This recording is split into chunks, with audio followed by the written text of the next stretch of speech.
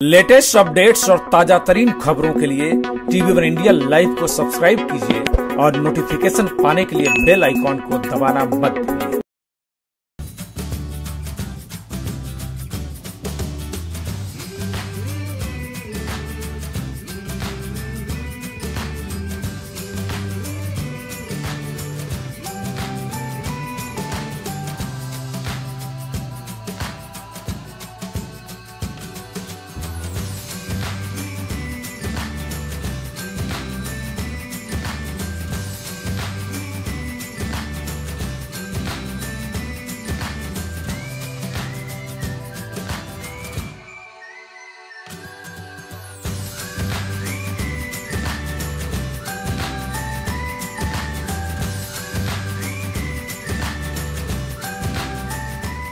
नवी मुंबई के पनवेल में आज से धम्म संहिता अभियान की शुरुआत हो गई।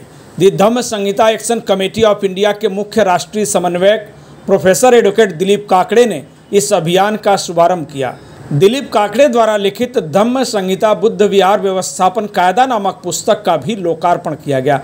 पनवेल में आयोजित इस कार्यक्रम में Dhamma Sanhita action committee of India के राष्ट्रीय समन्वयक अनिल काणेकर बाबा Saheb Ambedkar social research institute के अध्यक्ष मुकेश दुपारे समेत कई प्रबुद्ध जन भी मौजूद थे।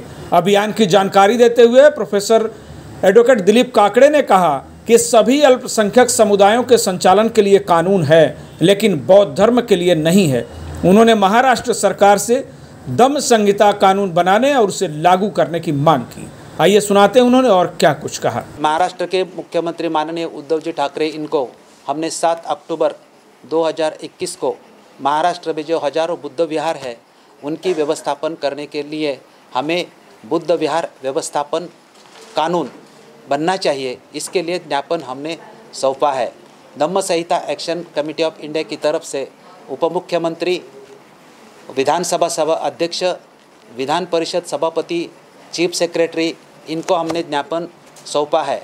महाराष्ट्र में अगर हम लोग ने सर्वे किया बुद्ध विहारों का हम लोग ने सर्वे किया और ये सर्वे के माध्यम से हमें हर बुद्ध विहार समिति के पास तो नहीं पहुँचे, लेकिन सैंपल सर्वे के माध्यम से हमें इतना पता चला कि महाराष्ट्र में जो बुद्ध विहार है, उन सब बुद्ध विहारों को एक कानून बनना चाहिए, सबका एक एक जैसा यूनिफॉर्मिटी बुद्ध विहारों की होनी चाहिए, उनके कार्य में यूनिफॉर्मिटी होना चाहिए तो उनको रूल्स एंड रेगुलेशन जो है, वो एक ही होनी चाहिए। जैसे कि शिरोमणि गुरुद्वारा प्रबंधन एक्ट 1920 का है इंडियन चर्चेस एक्ट जो 1927 का है। 1930 से ये वक्फ वक्फ वैलिडेटिंग एक्ट जो है उस, उसमें अमेंडमेंट होते हैं। तो अगर सभी धर्मों का हम लोग स्टडी स्टडी करेंगे सभी धर्म के प्रार्थना स्थल है इनका स्टडी करेंगे तो उनके मैनेजमेंट एक्ट ऑलरेडी इस देश में है। तो ऐसा ही एक बुद्ध विहार मैनेजमेंट एक्ट महाराष्ट्र के लिए बनना चाहिए। इसमें हम और एक भी सरकार को कहते हैं या हमारे समाज को भी कहते हैं कि भारत में बौद्धों की जो पॉपुलेशन है 84 लैक्स बुद्ध बुद्धिस्ट पॉपुलेशन भारत में है। उसमें से अधिकृत जो पॉपुलेशन है वो 65 65 लैक्स महाराष्ट्र की पॉपुलेशन है। तो भारत की बौद्धों की संख्या जो 2011 की जनगणना के माध्यम से जितनी भी पॉपुलेशन है, उसका 80 परसेंट जो हिस्सा है वो महाराष्ट्र में है। तो महाराष्ट्र में भारत के बौद्धों के 80 परसेंट हिस्सा और इनकी हज़ारों बुद्ध विहारें हैं। तो इन बुद्ध विहार के लिए रूल्स एंड रेगुलेशन के लिए एक मैनेजमेंट एक्ट हमें चाहिए। Bureau report. TV One India.